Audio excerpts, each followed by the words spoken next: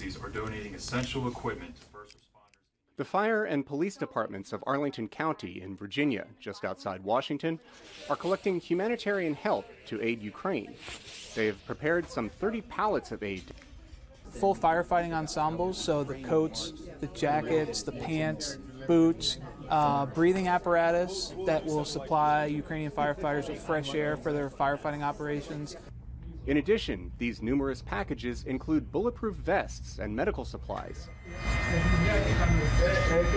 The aid is collected by the charitable volunteer organization United Help Ukraine and is being transported to Ukraine. After the pallets are sent to Ukraine, they make their way to the west of the country. Міста, які вже отримали допомогу. Among the cities that have already received aid are Chernihiv, Kozelets, Kiev, Vyshgorod. The volume is increasing, and we work from morning till night to help various charities, shelters, medical institutions, hospitals, and territorial defense. The foundation, organized by Ukrainian Americans in the DC area in 2014 to help the occupied Donetsk region, now supports Kharkiv, Odessa, Mykolaiv, and many other Ukrainian cities, towns, and villages. In total, United Help Ukraine has distributed 7,500 war grade first aid kits across Ukraine and is working on delivering another 20,000.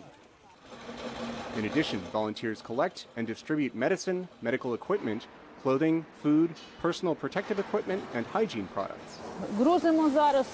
At the moment, we're loading body bags for corpses. These are large size, and the smaller ones are unfortunately children's. They will go to Vorzel, Hostomel, Bucha, those cities near Kiev. In Ukraine, volunteers like Ludmila Shadorina distribute the items.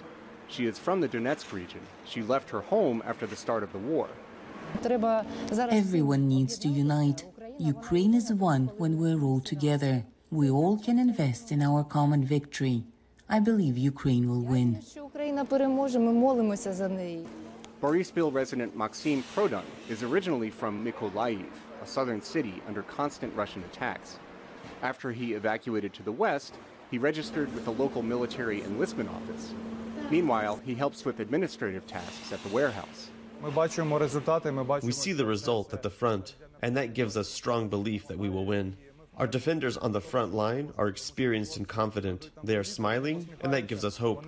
We will definitely win. United Help Ukraine also purchased and delivered ambulances, fire trucks, and tens of thousands of turnstiles to Ukraine.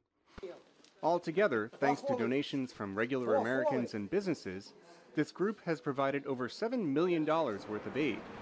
For Anna Kostutschenko in Lviv, Ukraine, Steve Baragona, VOA News.